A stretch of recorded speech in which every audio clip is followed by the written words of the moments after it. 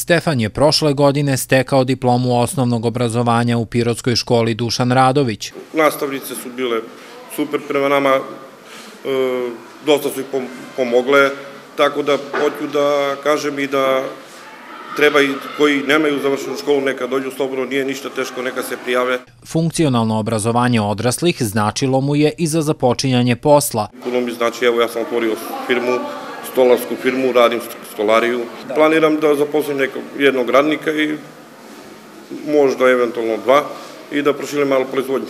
Stefanova priča jedna je od mnogih koje oslikavaju ciljeve i rezultate funkcionalnog obrazovanja odraslih. Većina polaznika interesuje se za zanatska zanimanja koja su deficitarna na tržištu. Zato škola Dušan Radović planira saradnju i sa Nacionalnom službom za zapošljavanje. Bućar, frizer, moler, bravar, zavarivač, građevinski radnik, pomoćni kuvar, poslastičar, baštovan, parketar.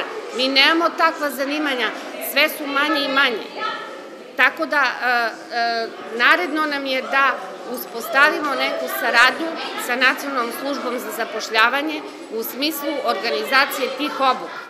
Tokom školovanja polaznicima uz časove znače i predavanja o različitim temama koja se realizuju u saradnji sa različitim ustanovama. Okruglom stolu o funkcionalnom obrazovanju odraslih prisustvovali su i predstavnici Centra za socijalni rad, službe patronaže, Kancelarije za lokalni ekonomski razvoj i drugih. Tanja je obrazovanje počelo od prvog od tri ciklusa u kojima se realizuje, odnosno od gradiva od prvog do četvrtog razreda. Uskoro završava osmi razred. Mnogo mi znači zato što nisam imala ni jednu školu završenu i onda mi mnogo znači zbog posla i onako više da se obrazujem.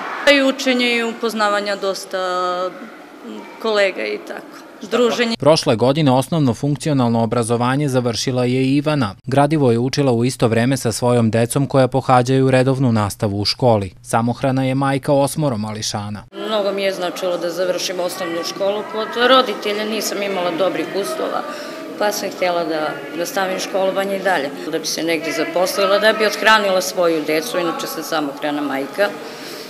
Ali eto, borimo se, vidjet ćemo, možda i uspemo negde. Put ka uspešnoj integraciji osoba bez obrazovanja u društvo je ovaj način školovanja. To je i način za iskorenjavanje nepismenosti.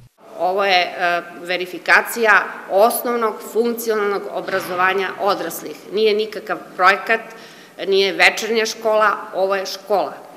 I drago mi je da su naši polaznici prepoznali ovu ustanovu kao školu, kao deo našeg sistema obrazovanja.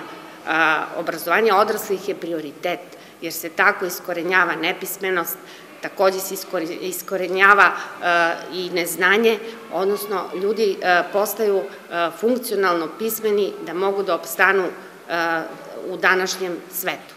Ovo je jedina škola u okrugu koja ima verifikaciju za realizovanje funkcionalnog osnovnog obrazovanja odraslih. Škola i u ovome ima podršku i lokalne samouprave, navodi direktorka. Ove školske godine je oko 90 polaznika iz celog okruga, a 17 završava osmi razred i priprema se za završni ispit. To je i najveći broj osmaka funkcionalnog obrazovanja odraslih do sada. Ohrabruje i podatak da je interesovanje polaznika za ovaj način obrazovanja iz godine u godinu sve veće.